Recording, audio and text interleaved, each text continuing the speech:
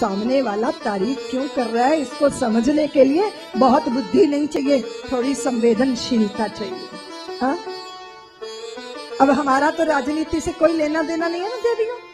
लेकिन हमने श्री राम जन्मभूमि के आंदोलन में काम किया। चुनाव के दिन जब आते हैं ना तो पता चलता है, उधर से एक टोकरा आया फलों का। हमने कहा, ये फलों का टोकरा कौन दे गया?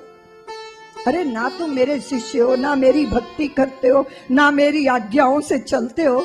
चुनाव के दिनों में ये फल वल एक आया वो लेकर आमले का रस पाँच सात बोतलें। रोज हमने कहा इतना आमला हमारे सारे आश्रम वाले भी रस पिएँगे तो ये समाप्त नहीं होगा। तो गुरु जी मुस्कुराए तो बोले रितंबरा अभी टिकट विकट बट जाएँगे तो ये सब गायब हो जाएँगे। हमने कहा "हाँ, गुरुदेव। ये कुकुर मुत्ते हैं बरसाती। जब बारिश के दिन होते हैं, तभी उगाते हैं, और जब बारिश विदा हो जाती है तो ये गायब हो जाते हैं, गधे के सिंह की तरह। समझ में तो आता है?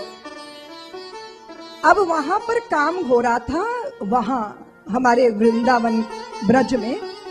पत्थरों को खनन वाले तोड़े जा रहे, तोड़े जा रहे, तोड़े जा रहे। साधु वहाँ अनशन करके बैठ गए। किसी साधु ने अपने ऊपर तेल डाल लिया कहा, हम तो मर जाएँगे, क्योंकि भगवान की निशानी है ये पहाड़ियाँ. मैंने कहा, ये काम तो नहीं होना चाहिए। उन दिनों एक्सप्रेस वे नहीं बना था और मैं अपनी गाड़ी लेके दिल्ली जा रही थी पलवल से।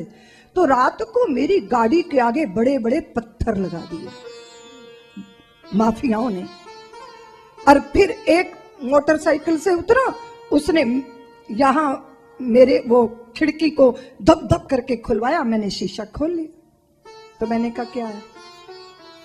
खोपड़ी उड़ाओगे ना मेरी? मेरा शरीर छीनोगे? शर्म नहीं आती? अपनी परंपरा, अपनी संस्कृति, उन सबको बेचने को तैयार हो पैसे के लिए? और मैंने जैसे ही उसकी आँख में आँख डाल के ये बोला, वो फटाफट भागा, मोटरसाइकिल पे बैठा और नौ दो ग्यारह हो गया।